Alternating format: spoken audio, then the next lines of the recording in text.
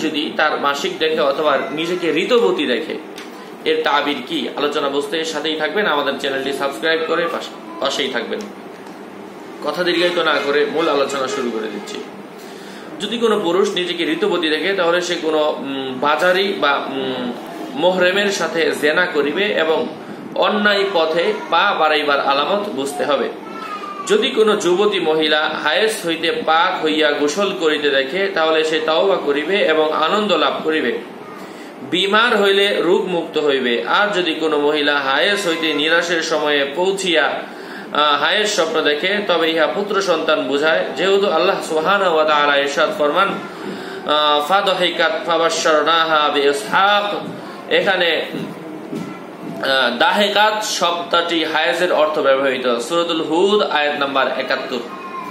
যদি কোনো মহিলা তাহার ইস্তেহাজা হইয়াছে দেখে, অর্থাৎ ঋতুকালীন সময় উত্তীর্ণের পরবর্তী রক্তস্রাব হইতেছে দেখে, তাহলে কোনো গুনাহে লিপ্ত রহিয়াছে এবং সে গুনাহ হইতে বাঁচার চেষ্টা করিতেছে, কিন্তু তাহার সম্ভব হইতেছে না। মহিলারা যদি নিজে দিওকে হায়েজ অবস্থায় দেখে, তাহলে তাহাদের দ্বারা কোনো বড় গুণা হইবে, যাহাতে তাহারা বিমর্ষতা এবং মলিনতার সম্মুখীন হইবে, আর হায়েজ বা ঋতু বন্ধ দেখা সন্তান জন্মিবার আলামত বুঝতে হবে। আশা করছি বুঝতে পেরেছেন এমন আপডেট পেতে আমাদের সাথেই থাকবেন। আপনাদের মঙ্গল এবং দীর্ঘায়ু কামনা করে এখানেই শেষ করছি। আসসালামু আলাইকুম রহমতুল্লাহ বারাকাত